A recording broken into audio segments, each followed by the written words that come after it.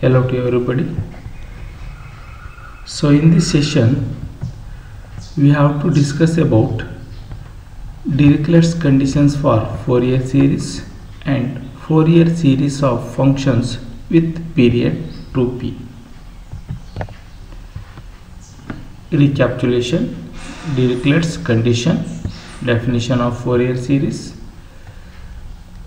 derivation of Fourier coefficients a0 an bn these are uh, learning objectives.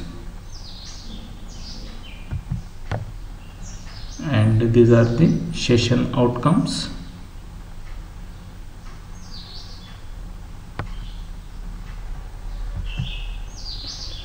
Prerequisites. Trigonometry summation notation complex number manipulation and linear algebra. So these are the basic results to derive Euler's formula.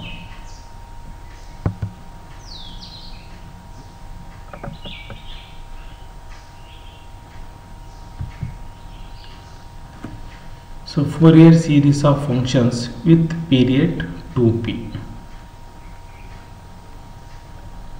so let f of x be a periodic function with period 2p and f of x be represented by the Fourier series by f of x is equal to a naught by 2 plus summation n is equal to 1 to infinity an cos nx plus summation n is equal to 1 to infinity bn sin nx so in the interval minus p to p.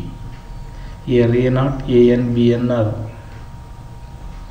coefficients Fourier coefficients.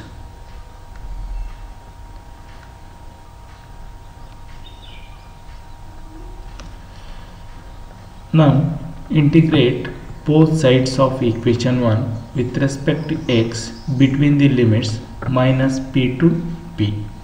So we get this one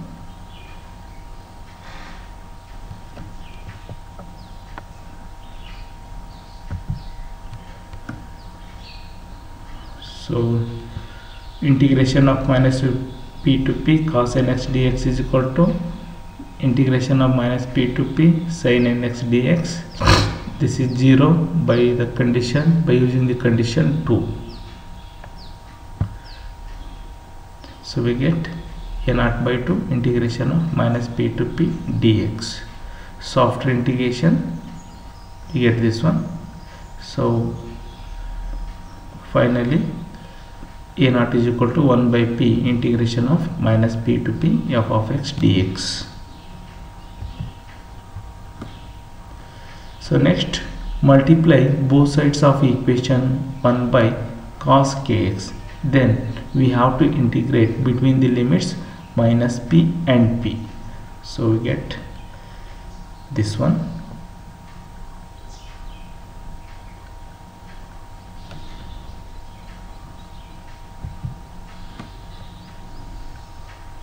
so these are the simplification.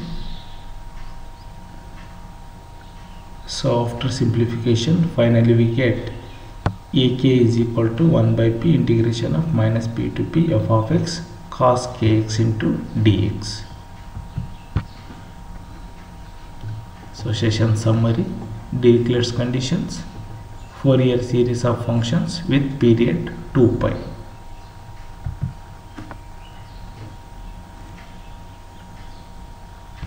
So multiple choice questions. First one what is the sum of the Fourier series at a point when the signal is discontinuous?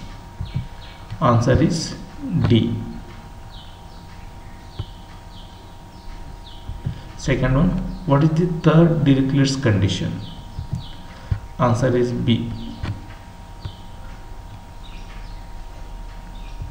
Third one. In the third condition does each of the discontinuities need to be finite? Answer is a. Fourth one. What guarantees that coefficients is finite in a Dirichlet's condition? Answer A. First condition. Fifth one. There are maxima and minima not possible in Dirichlet's conditions. Answer is B. False. So these are reference books for this session. Thank you very much.